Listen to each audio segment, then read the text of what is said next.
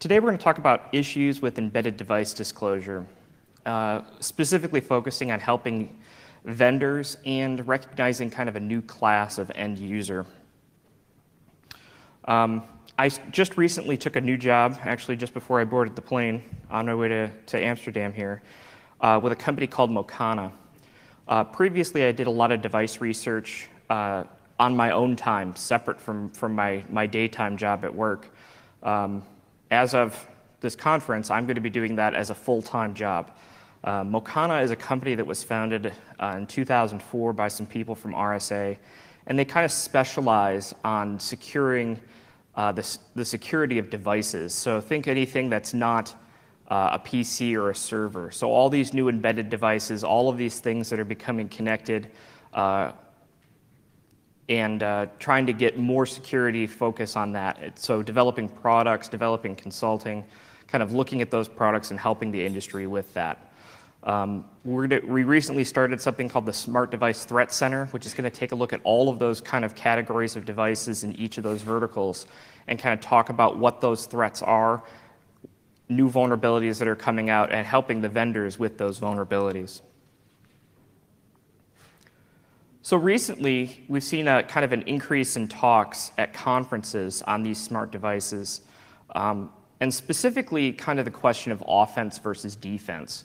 Um, our keynote speaker mentioned it, kind of the, this, this, uh, this tension between offensive and defensive um, kind of discourse, right? We've had years of this discourse talking about, oh, defense is so hard, you know, because on a defensive side, you have to protect against every threat at all times from, from every direction. Um, well, that was very nice. The computer just turned off.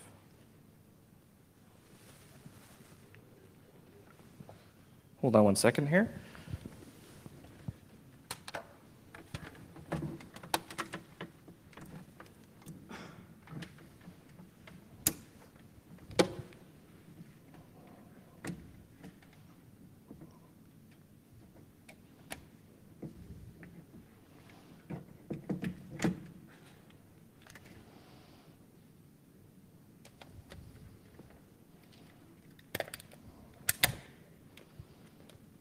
Let me make sure I don't electrocute myself.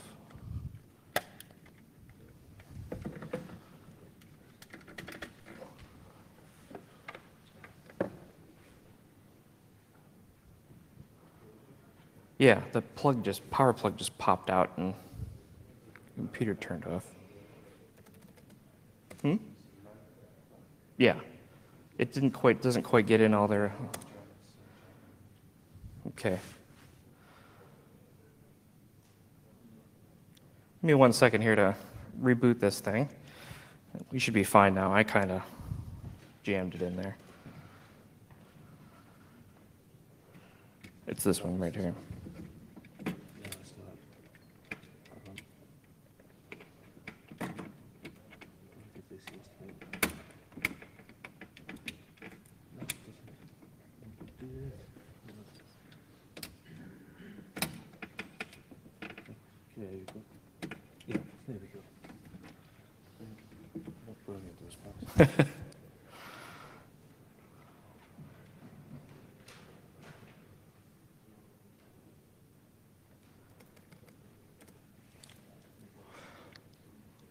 So while this is loading, we talk about where I was at, which is kind of the struggle between offense and defense. Right, so defensively, we have to protect against every threat at all times, for every possible threat vector, um, and often with uh, less and less funding. Offensively, right, you only have to find one small flaw, one tiny area that you can get in, and you're in. You don't have to be concerned with the rest of the area, so you can focus on one small thing. Um, and uh, as our keynote speaker kind of mentioned, talked about extensively, you know, uh, it's cooler to do offensive things. Uh, you know, that's that's a lot of these talks are about uh, how we how we can break into things, how we can uh, you know how we can see the, these vulnerabilities, and you know how these how these devices break.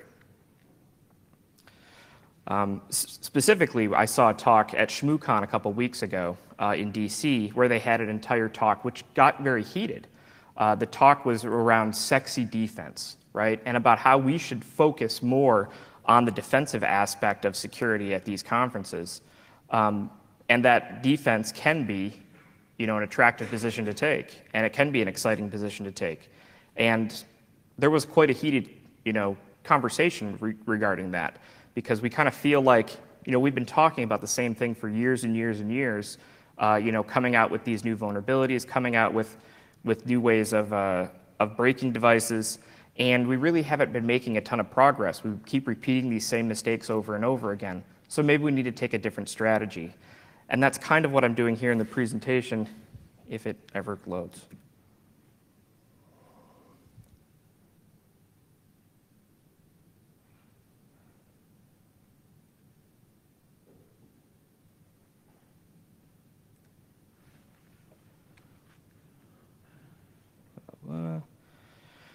So my experience with disclosure.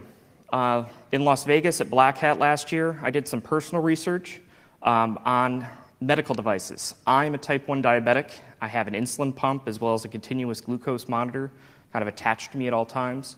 And I started poking around to see what kind of vulnerabilities I could find um, and what kind of things I could make it do. I just really wanted to get a basic understanding of how this thing that you know I depend on to live, um, uh, what kind of security weaknesses are there.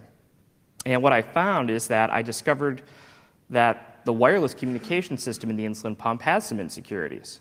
Um, matter of fact, you could pretty much do anything you want if you had the serial number. Um, so I demonstrated this by remotely turning, writing a program and remotely turning off my own insulin pump. Um, I also could change any setting I wanted to. And this kind of has some, you can imagine, some disastrous impact, right? I depend on this medicine and specific amounts of it, um, you know, to keep me in good health. And if I start changing those settings around without knowing it, you know, it could put me in the hospital and possibly a life-threatening condition. So these are pretty significant findings. In that, I decided not to name the vendor, not to name what pump I was using, and I was not going to release any technical details, obviously, of my findings, kind of keeping things safe. Over the course of the next three weeks after that presentation, Department of Homeland Security contacted me and offered to kind of contact the vendor on my behalf along with ICS CERT. Um, repeated attempts over a three week period, the vendor did not answer the phone for those people, nor myself.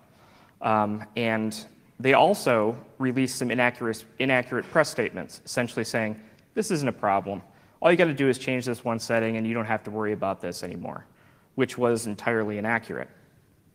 So given those factors, Department of Homeland Security and I, decided to name the vendor, still holding back all the technical details, but putting some public pressure on the company to address these security vulnerabilities, which ultimately ended up leading to a congressional investigation of how we can better approach medical device security.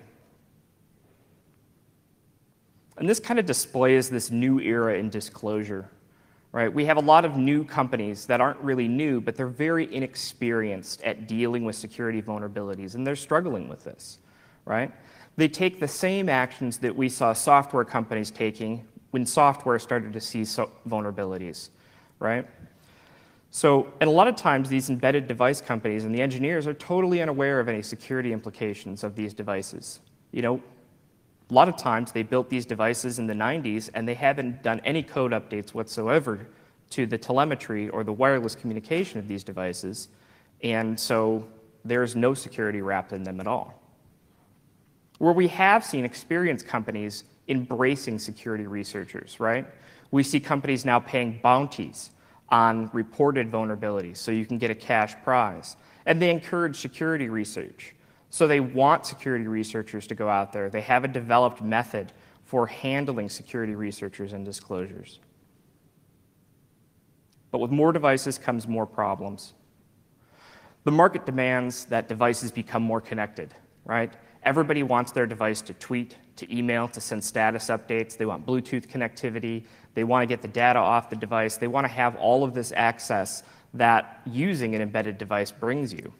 We have this explosion of data, right? We have data mining, we have uh, smart grid activities. We have all these environmental things that we can do to make the world a better place, but now we're introducing these new variables.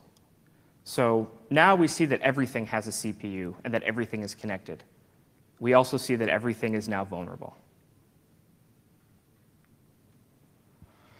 We also know that there's limited protection on this, right? With PCs and servers and the things that we've been working, the IT, has been, IT field has been working with for decades now, we have a whole slew of products that help us. We have firewalls and IDSs and IPSs and scanners and all these tools that'll help us keep our devices secure and look at our devices and find those vulnerabilities. But now we have these new devices, which I refer to as being outside that frame. They lack a well-defined perimeter. You can't just say, well, I set this perimeter up and it's always going to be inside that perimeter. These devices aren't stationary. They move around. If you think about medical devices like the one attached to me, I'm all over the place, right? So it could be connected to a network, it could be not connected to a network, and I'm going to be changing places all the time. And we see this a lot with these new embedded devices. There's also a limit of there's no standards, right? In the IT field, we have well-defined communication protocols that we all agree upon for interoperability. TCP, UDP, 802.11, these are all well-defined. So we can write things, we can develop products around those standards to help us secure them. What we're finding in embedded devices is more proprietary methods, more devices, more communication methods that are not standard. It's curiosity that got me into this position, right? I wanted to know how these things work. And a lot of security researchers look at these devices in that way. They don't really go after them saying, I'm going to break them. But they want to know how they work. They want to be able to push the buttons and know all of the, the workings behind the scenes of these devices. That's the, that's the fun of it, right? And we even want to push the boundaries to see what these devices can do that they weren't exactly supposed to do, to kind of see what the limits of the, that technology are. So vulnerabilities are going to be found, right? Professionals are going to seek to disclose those vulnerabilities to make our world safer. So kind of the two disclosure guidelines that, that I think are really, really important here. The first one is to do no harm if there's a vulnerability that puts those puts people in harm, then telling others how to replicate it and how to use it would be a problem. So let's think of let's think of water infrastructure, for example. And let's say you poke around with the water meter at home and you figure out a way you can turn off the water to a person's home. If you came to DEF CON or some other security conference and disclosed exactly how you did that, and exactly how and wrote a little Python script so you can shut off anybody's water meter without disclosing it to anybody first or without talking to the utility company first, you could see that maybe that would cause a problem, right? You're going to stop, you, other people might use that script and turn water off for people who legitimately need it, right? That would be problematic. But rule number two is you have to make others aware, right? Let's say you did find a vulnerability in the water infrastructure and figured out a, a, a, hack to turn the water off to a house. You should disclose it. You should tell other people about it, specifically the vendor, so that way they could address that vulnerability. If you just kept it to yourself, there's a little ethical issue there because somebody else could find it and do something harmful with it. And this is a very difficult path to find, let alone follow is this balance between trying to do no harm and trying to keep things safe, but also making people aware of it so they can fix it and so you can protect it. So let's say, let's have a little scenario here, right? Let's say a traditional vulnerability is found. Let's say in a browser, right? And the company that, that, that writes the browser is very well established. They offer a $500 bounty on vulnerabilities found. They have a, a PSIRT team, which is product security incident response team. So they can, they can look at vulnerabilities and work with security researchers on these vulnerabilities. Right? So you disclose your vulnerability to that company, not publicly. You go to them privately. And the company asks for a period of time to address the problem. And they work with you to understand that vulnerability, to see exactly what it is you found, right? The company usually will release a patch, fix the vulnerability in a month and a half or so, maybe a month, maybe less time, right? This is an easy, easy situation, right? It's an easy decision, and you're going to get very good results. You're going to address the problem, the company's going to be happy, and you're going to be happy. So the experience here is what counts, right? Experienced companies have developed a process to handle vulnerabilities, right? Incident response teams um, are built to interact with outside security researchers. And they have their own researchers that can verify these reported issues and figure out exactly what the technical details are so they can accurately address them. And they even offer rewards for reporting these vulnerabilities. Just last week, we see contests like Pwn2Own, where you show up, exploit, and you know, show a pro- proven exploit for a box, and you can win lots of lots of money. And that's a good way for companies to be able to get vulnerabilities and handle these vulnerabilities. And many companies are going in that direction. We also see much faster turnaround times for, these, uh, for addressing these issues publicly. You know, in some cases, like in the Pwn2Own contest we saw a couple weeks ago, we saw patches being released in less than three days, from seeing a zero day to, to publicly making a patch available for it in a very short turnaround time. In this case, there's not really a need for partial disclosure or a non-disclosure option just because it's going to happen so fast, right? Companies might ask for a courtesy moratorium and say, hey, we know you'd like to go talk about this at a conference and make more people aware of it, but could you give us a couple weeks or a month or some period of time so we can research it, address the, address the issue, maybe release a patch or a workaround before you talk about it publicly. Let's take a look at another scenario though. Let's say there's an embedded device vulnerability found. The company has no product security incident response team. They have no previous history of vulnerability handling. Disclosure to the company in this case can be risky. You know, they might take legal action against you to bury the issue to keep you from talking about it or to scare you into not disclosing it. But now you have an issue here. So full disclosure publicly could put maybe people at risk, right? If you come out and display all the technical details of the vulnerability, then other people can replicate it very easily, and you might be putting people in harm's way. But now you take a look at it maybe and just doing partial disclosure. We're talking about the problem without the technical details. And this is problematic as well because you're going to get criticism from all sides now. You're going to get people who want you to disclose the technical details, and they're going to harp on you saying, you should tell everybody so that way people can protect themselves and be fully aware of the problem. And then you're going to get people that say, you shouldn't disclose anything about it. You should never talk about it because then you're making people aware that the problem even exists. This is a very problematic scenario. This lack of experience and erratic response is very problematic for a researcher. If you have no idea what to expect, if you're going to get welcomed or punished or attacked, then it really makes it difficult to decide what direction you should go in. And you have to remember that these companies have a lot of risk on the line. They've got a PR story, they've got shareholders, they have profits, they have customers. You disclosing a vulnerability puts this company, puts whatever company, in a very difficult situation of how to address it, especially if they have no experience in it. And they get very defensive. Usually lawyers take over, especially if it's a larger company, and try and pressure you not to disclose and not to, not to talk about these things. Also, our own culture, the stigma of being a hacker doesn't help us, right? You're looked upon as a criminal, a bad guy, you know, looking to do harm, not to try and help. And that also plays into how a company is going to look at you. So there's kind of three ways I see companies going right now. All right, company A is, is the first example, and they're the bully, right? And they might take the legal tactic of issuing a cease and desist letter, right?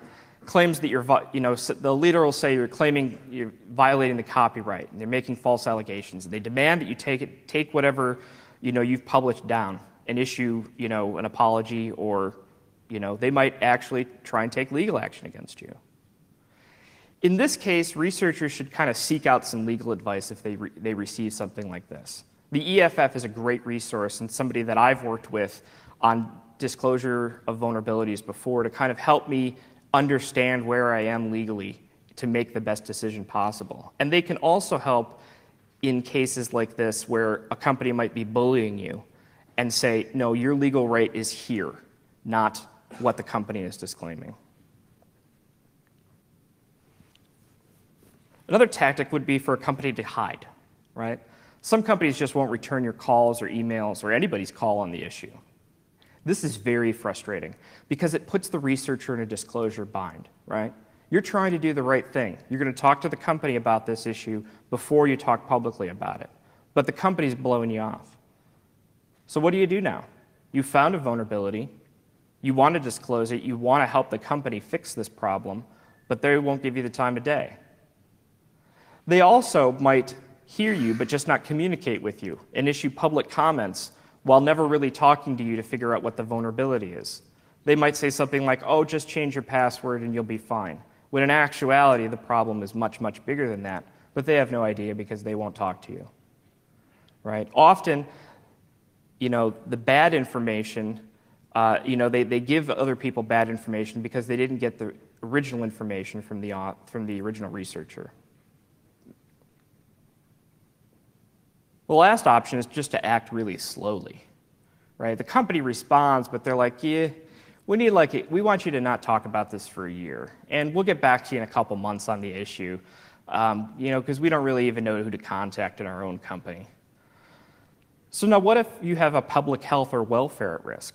What's your ethical obligation there? Should you just let the vulnerability sit there out in the open for other people to find? For a year or however long the company wants to take? Or do you try and push to disclose earlier so people can take action to protect those you know, pieces of infrastructure or devices? This is a difficult question to answer. This also might be legitimate, right? With government regulations, with older systems, especially in SCADA environments, um, it might not be easy to find the person or people or it might be difficult to even address the issue at all. It might take them a year. So in this case, you know, patience is very important and communication is very important between the vendor and the researcher. So what can security researchers do to help? Well, first thing I like to, first thing I like to suggest is to seek out a trusted intermediary. I worked with Department of Homeland Security. There are other CERT teams out there uh, Idaho National Labs uh, is very good for utilities and SCADA environments, right? But we definitely need to develop more of these. SCADA has gotten a lot of coverage thanks to Stuxnet and you know a lot the, the amount of um, importance on those those uh, devices. But in other cases, like in medical devices and, and smartphones, we have almost no intermediaries that we can go to to say, hey, is there a way you can broker the information between the researcher and the vendor. The second thing that I push people to do, which can be uncomfortable, is increase professionalism, right? You're visiting on their turf. You have to play by their rules. And you have to present yourself in accordance, right? You shouldn't show up wearing your best DEF CON 3 t-shirt, you know, that you've had for the last 10 years and a pair of camel pants when you present to a company like this, right? You have to try and address, you know, the situation so that way you're taken as seriously as you can. You know, you have to listen to the company's concerns and be flexible. Just because you found a vulnerability and you think it's ultra important, you might not understand all of the concerns that the company might have. It's not just as simple as fix these three lines of code and you're all set. There's a lot more usually to it from the company's perspective than from the researcher's perspective. So you have to be flexible and you have to keep those things in mind when you're talking to a company. You also really have to stress being on the good side, right? You have to show up with ideas on how to address, address the issue, not just say, hey, I found this thing, it's broken, you need to fix it. They might not know how to fix it. So you need to be able to come to the table and say, hey, you know, I found these things, and I think there are a couple different ways that you can fix that very easily. And if you want my input on that, I'd be happy to give it to you. You also have to be complimentary. If you walk in there and say, hey, your product sucks, I found a vulnerability, how, dare, how did you dare? Did you do any testing at all? You got to be kidding me, right? If you call their baby ugly, they will react poorly to you. They will not take you seriously. So you have to find ways to complement the product while still showing that it is vulnerable, right? You have to kind of take that into consideration. Otherwise, they're going to be upset.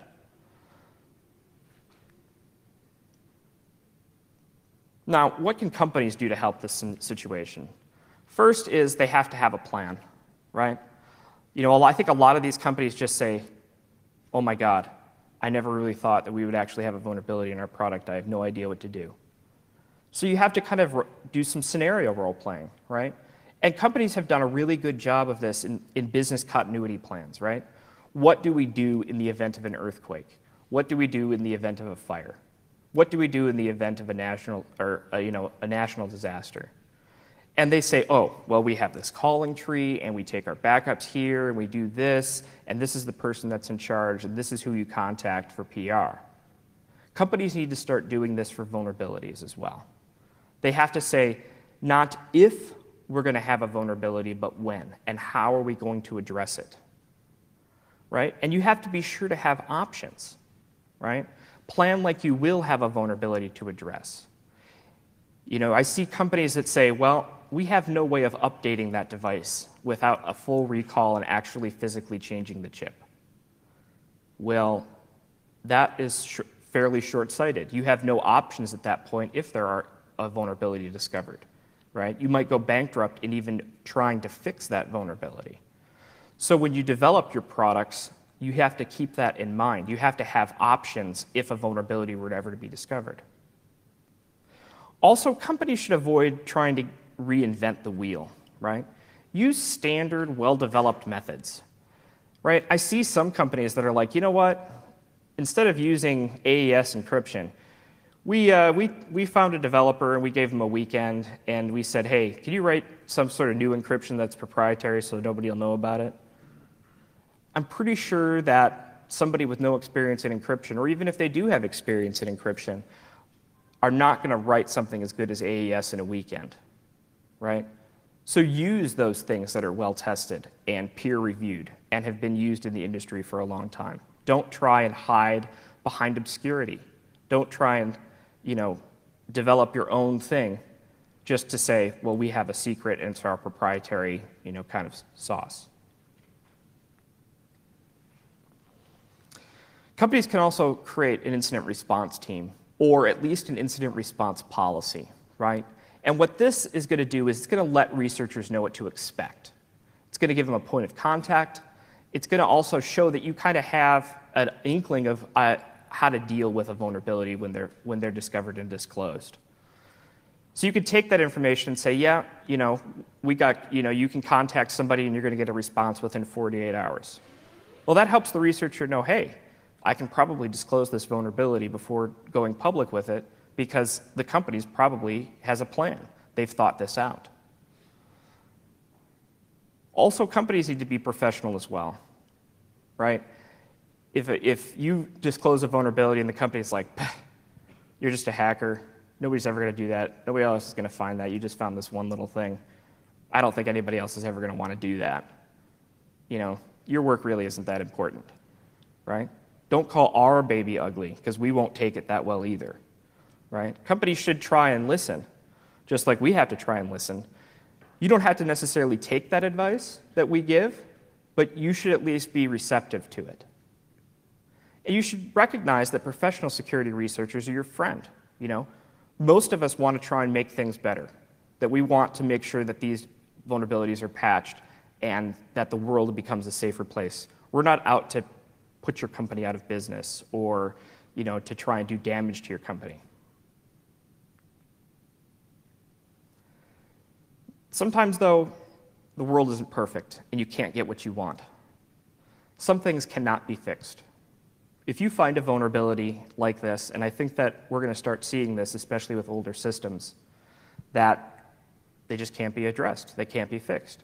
It might cost too much, right? The age of the system might prevent it from being patched or fixed or worked around.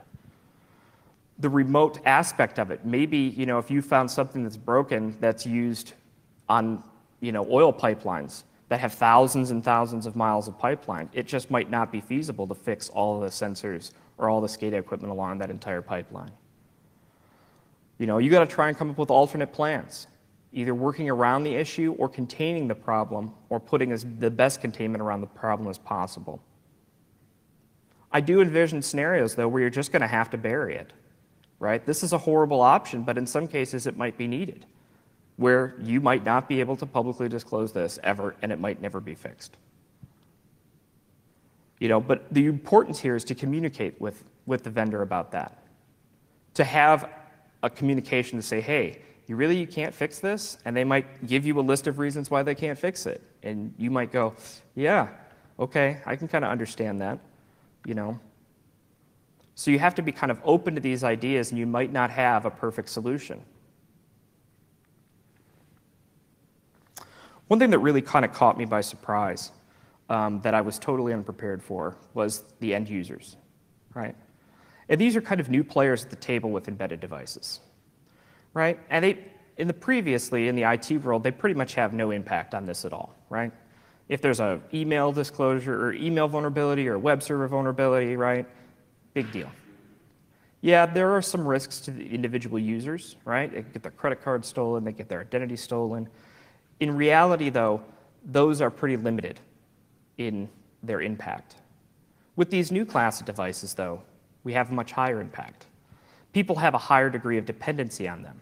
In some cases, like in medical devices, they're needed to live or maybe to maintain civilized life. If you think about water, if you think about power, if you think about sewage, if you think about cell phone towers and communication paths. So in my insulin pump talk, I immediately got significant user backlash, right? Now, insulin pump users are very vocal. They literally are tied to their devices to keep them alive and healthy. For example, my insulin pump right here is connected to me by this tube. It is attached to me 24 hours a day, seven days a week. If I wanted to, I could take a shower with this. I do everything with this attached to me. I need it to deliver medication to stay healthy. So I'm pretty vocal about when people find things wrong or people have issues with insulin pumps right? We also have to keep in mind that children use these, sometimes as young as three years old, to keep themselves alive. And that is going to make people more anxious and more vocal about it. Also, they're online and they're very vocal. They refer to themselves as the DOC, the Diabetic Online Community, right? And it's really a very good support group for them. They can share experiences, they can learn about what works with these devices, what doesn't work with these devices, and kind of have a feeling that they're not alone. So the first complaint I started to get was why? Why are you doing this? Why are you trying to break insulin pumps? And the implication there is that I was evil and that I'm looking to cause harm, that I'm going to go after diabetics and turn their insulin pumps off and try and harm them. And that by even talking about this idea, in vague terms uh, is going to spur other people to do it. You know, I'm going to teach my hacker brethren how to break into insulin pumps so they can harm more people. Right? So my answer to this is we do it in order to learn, right? We look at these security issues, we look at these devices and how they work in order to learn what they can do, right?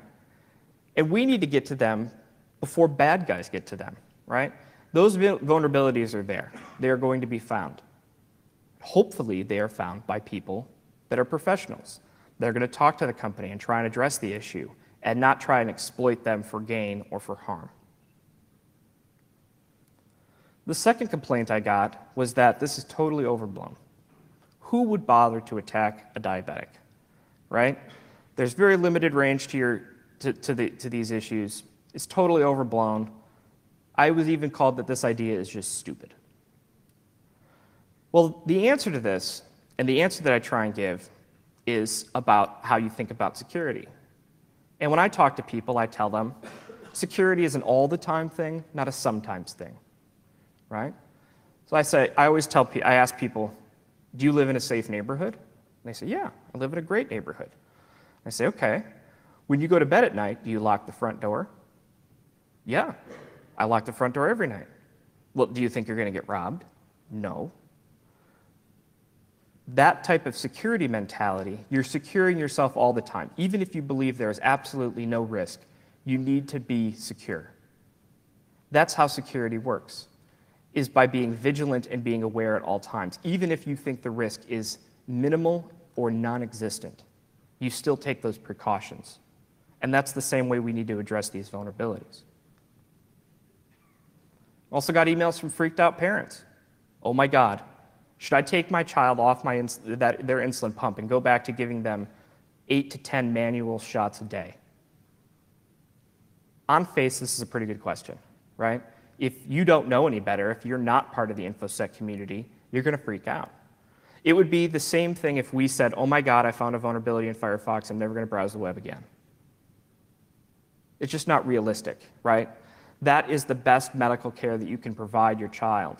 Why would you take it off it because of a limited risk?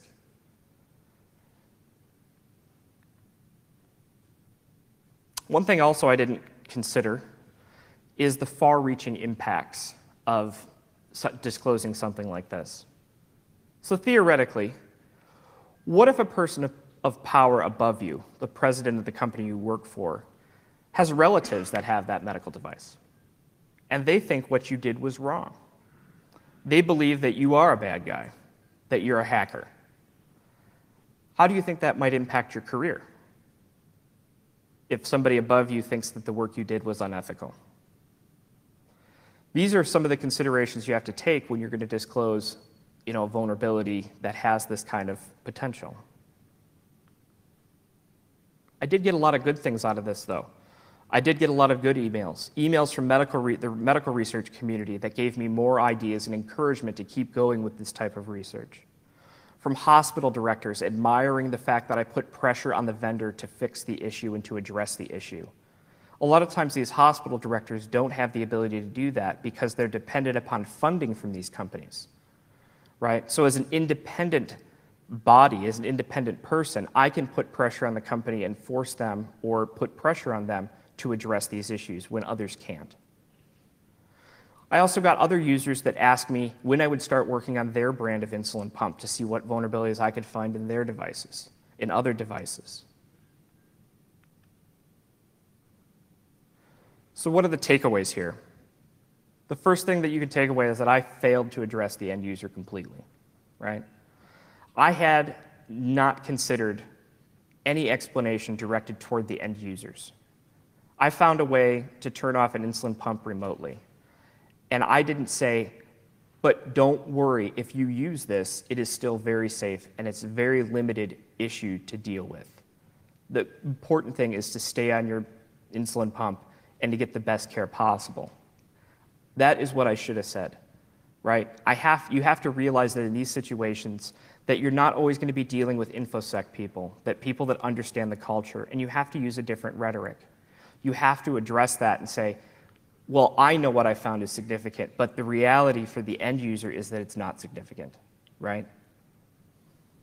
You also have to realize that some of these things that we're going to find in these embedded devices are going to have major life impact. This isn't like getting your credit card stolen and you call the bank and like, hey, they stole my credit card, and the bank refunds your money and they issue you a new credit card. This can be much bigger than that. These embedded devices are used in multitudes of ways that can have a major impact on not only a person's life, but maybe large communities. You need to take a step back and look at who uses these products and how it affects their lives. So, in closing here, the, the real point is that disclosure is hard right? The issues that we face with disclosure are very difficult, and the issues that companies face with, with disclosure is very difficult. There's never going to be a right path, a well-defined path that is going to address everybody's concerns. There are always going to be others that thought you should have taken the other path, that said, hey, you should have released all the technical details so that way me, I can protect my house, I can protect my device by knowing exactly what that vulnerability is. And there are others that are going to say, you should never talk about that vulnerability because it puts so many other people at risk. There is no right answer.